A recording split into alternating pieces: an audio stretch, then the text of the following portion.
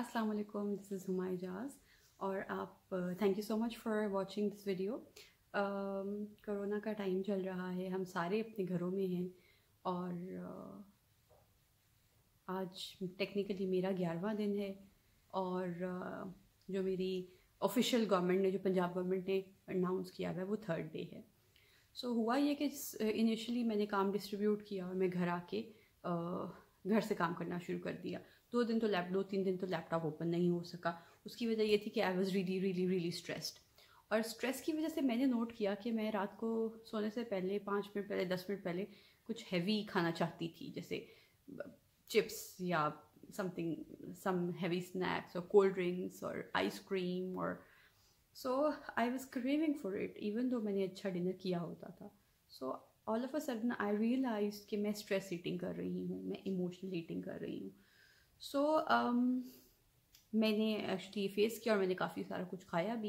I am not sure क्योंकि मैंने weight measure नहीं किया लेकिन मैं आज यहाँ पे स्ट्रेस ईटिंग के बारे में बात करने लगी हूँ। क्योंकि मोर और लेस हम सब लड़कियाँ ये करती हैं लाइफ में कोई भी स्ट्रेस आता है कुछ भी आता है तो हम खाना ज़्यादा शुरू कर देते हैं। So it's it's it's totally normal इसमें कुछ बुराई नहीं है। इट्स जस्ट कि आपका माइंड जो है वो आई थिंक ऑक्यूपाइड रहना चाहता है या बॉडी तो वो बेसिकली आपकी बॉडी हंग्री नहीं होती, आपका ब्रेन हंग्री होता है, आपका माइंड हंग्री होता है। तो let's talk about bit about stress eating मैंने कुछ नोट्स यहाँ पे बनाए हुए हैं कि अगर आपको इस तरह की फीलिंग आ रही है कि जी खाना खाया हुआ है बट और भूख लग रही है, और खाना है, आप किचन जाके खोल रहे हैं फ्रिज खोल के रात को देख रहे हैं, आप देख रहे हैं नूडल्स पड़े हैं कि नहीं पड़े, और बस आप, और कोल्ड ड्रिंक की दुश्मनी से आपकी दुश्मनी होगी जैसी मेरी पिछले दिनों से हुई हुई थी। सो so, um, मैंने कुछ पॉइंट्स नोट डाउन किए हैं। मैं आपको आपके साथ वो शेयर करती हूँ कि क्या करना चाहिए। सबसे पहले तो जी जो आपकी स्ट्रेस ईटिंग है ये आपकी बॉडी की रिक्वायरमेंट नहीं है ये आपकी इमोशनल ईटिंग है ये चीज़ हमें सबसे पहले एक्सेप्ट करने की ज़रूरत है। तो um, यानी कि आपकी body is not hungry it's your brain it's your mind so इसके लिए आप क्या कर सकते हैं कि आप एक चूँकि आजकल हमारे पास काफ़ी सारा टाइम भी है तो what we can do is we can maintain a food diary अच्छा फ़ूड डायरी मेंटेन करने का ये होता है कि आपको एक तो आपका कैलोरी चेक रहता है, आपने कब क्या खाया था। दूसरा, आपको अपनी एलर्जीज़ बहुत अच्छे से आइडेंटिफाई हो जाती हैं कि for example in my case जैसे कुछ हेडेक्स हो रही हैं तो मैं सोचूँगी पिछले तीन दिन मैंने क्या खाया है। ऐसा कुछ है जो मेरी बॉडी ने एक्सेप्ट नहीं किया, उसकी वजह से मुझे अनकम्फर्टेबल फीलिंग हो रही है तो ये क्यों हो रही है? सो फ़ूड डायरी रखने से आपका एक चेक मेंटेन रहता है कि आपने जो भी खाया है, वो बॉडी को सूट कर रहा है बॉडी को पसंद आ रहा है बॉडी को एक्सेप्ट बॉडी करती है कि नहीं करती। अच्छा जी, सबसे पहले आपने क्या करना है? आपने फ़ूड डायरी बना ली, फिर कीजिए टेम योर ओन स्ट्रेस अपने स्ट्रेस के लिए कुछ और सोल्यूशन निकालिए।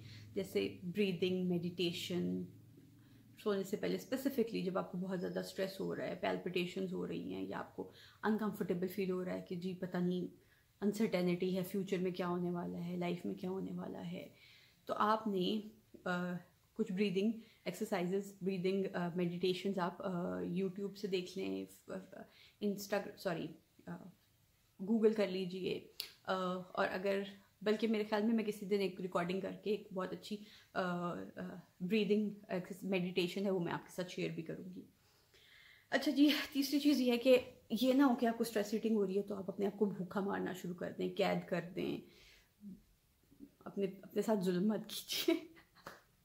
आप क्या कर सकते हैं कि आप कुछ हेल्दी स्नैकिंग शुरू करते हैं? आपको रात को भूख लग रही है या किसी और टाइमिंग पे तो क्यूकम्बर खा लीजिए या क्रैकर्स कुछ है, जैसे मैं आपको दिखाती हूँ, मैंने अपने बेड में ये वाले क्रैकर्स रखे हुए हैं तो शुगर क्रैकर्स तो जो मुझे बहुत हंगर बहुत ज़्यादा लगती है तो मैं एक या दो खा लेती हूँ कि वो सप्रेस हो जाती है।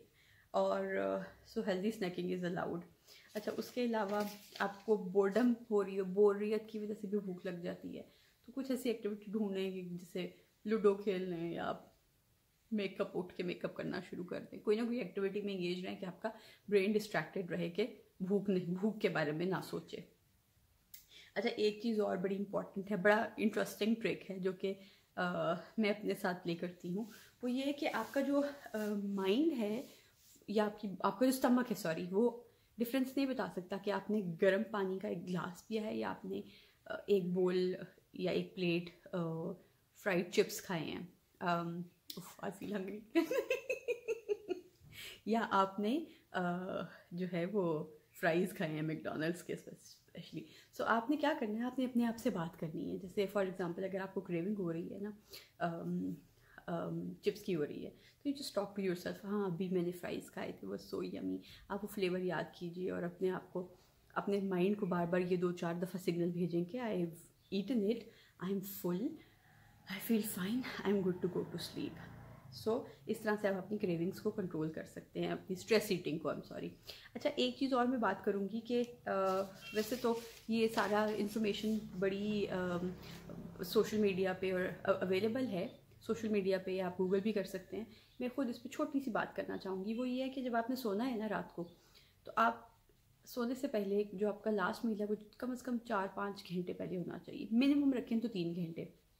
मैंने बहुत सारे जो फिटनेस मॉडल्स हैं या एक्टर्स हैं या योगा टीचर्स हैं, काफ़ी सारों की लाइफ को स्टडी किया है। उस, उनके फ़ूड पैटर्न को स्टडी किया है। तो उनमें सारे के सारे जो है वो रात छः सात बजे के बाद खाना नहीं खाते। One of one of the person I follow जो कि Akshay Kumar is a very famous actor उसको मैं काफ़ी फॉलो करती हूँ।